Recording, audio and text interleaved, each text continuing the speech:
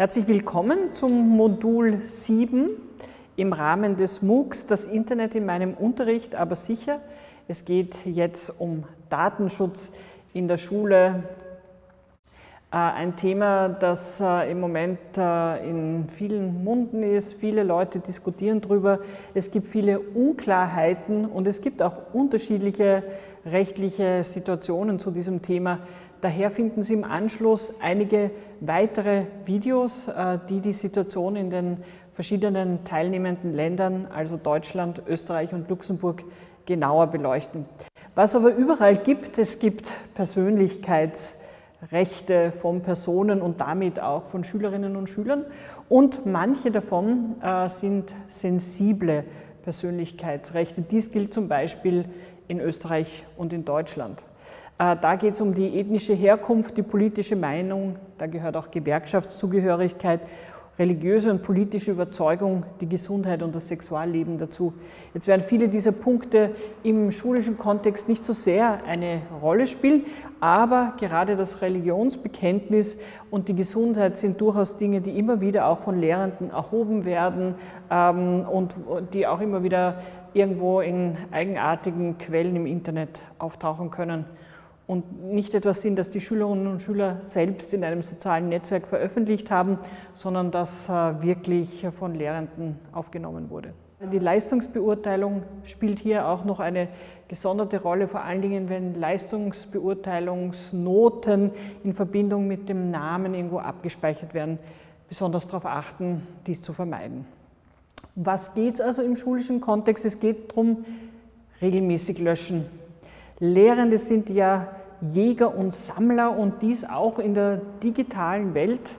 Ähm, schaut man, dass man möglichst viele Unterlagen zusammenbringt. Äh, man könnte es nochmal brauchen.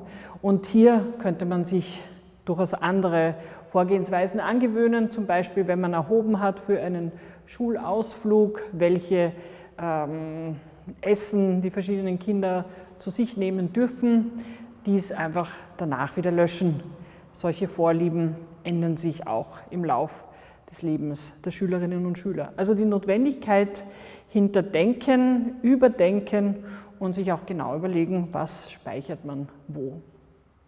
Also wo ist Datenschutz in der Schule relevant? Das ist einerseits ähm, im Zusammenhang direkt mit dem Unterricht, also die Leistungsbeurteilung, aber durchaus auch im Zusammenhang mit Online-Angeboten, wo Schülerdaten gespeichert werden, zum Beispiel durch Schulbuchverlage auf Lernplattformen oder Schulwebsites, Informationen, die die Schulen selbst veröffentlichen. Manchmal werden Klassenlisten mit den echten Namen in vielleicht fragwürdigen äh, Plattformen genutzt und unter den Lehrenden geteilt. Bitte hier darauf achten, das kann man durchaus einfach anonymisieren, äh, ohne diese Informationen dann weiterzugeben. Äh, die Schulverwaltung ist hier im Endeffekt nicht unser Thema.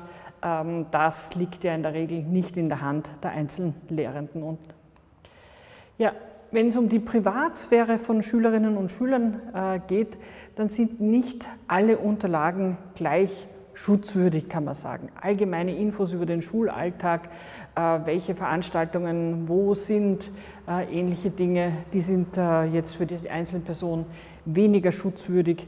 Bei Unterrichtsprojekten kann man schon genauer hinschauen. Ähm, welche Informationen sind hier dabei? Äh, lassen sich beispielsweise Schülernamen anonymisieren und kann ich aber trotzdem Unterrichtsprojekte online umsetzen, auch dokumentieren und vielleicht sogar veröffentlichen. Wenn äh, das unter dem Namen von Schüler und Schülerinnen ist, könnte man eine Erlaubnis hier bei den äh, Schülern selbst bzw. den Eltern einholen. Sensible Daten, persönliche Daten, die äh, sind äh, sehr schutzwürdig und hier auch wirklich darauf achten, dass man sie nur in Umgebungen online äh, speichert und nutzt, die auch nach den nationalen ähm, Bestimmungen erlaubt sind, beziehungsweise gibt es regional auch immer wieder unterschiedliche Zulässigkeiten von bestimmten Systemen, hier sich einfach erkundigen bei den eigenen Kolleginnen und Kollegen. Ein Thema, das äh, sehr viele beschäftigt und wo wir vielleicht aber noch nicht alle Antworten äh, wissen, ist, wie kann ich Cloud-Systeme im Unterricht einsetzen. Das können ja ganz unterschiedliche Plattformen sein, äh, wo ich mit Kindern verschiedenste Unterrichtsprojekte umsetze. Und hier ist in den Vorüberlegungen immer die Frage, wo werden denn die Daten gespeichert? Ist dies in Europa? Ist dies außerhalb von Europa? Dies liegt oft den Überlegungen zugrunde. Davon unabhängig ähm, ist es aber für den, die Lehrkraft wichtig, sich zu überlegen, was ist denn aus pädagogischer Sicht äh, wichtig? Ähm, welche Plattformen eignen sich auch zu welchem didaktischen Zweck? Dies auch durchaus miteinander zu diskutieren. Wenn ich Eltern bzw. bei älteren Schülern deren Einverständnis ähm, einhole, ähm, ist in vielen Ländern auch vieles möglich umzusetzen. Äh, letztendlich muss ich mir immer überlegen, wo sind die Daten gespeichert, wer finanziert welches System auch mit Daten, kann ich das transparent machen mit meinen Schülerinnen und Schülern und mir auch mit ihnen dann einfach überlegen, ähm, was wo sinnvoll ist und wie wir es gemeinsam nutzen können. Was kann ich also im Unterricht machen als Lehrkraft?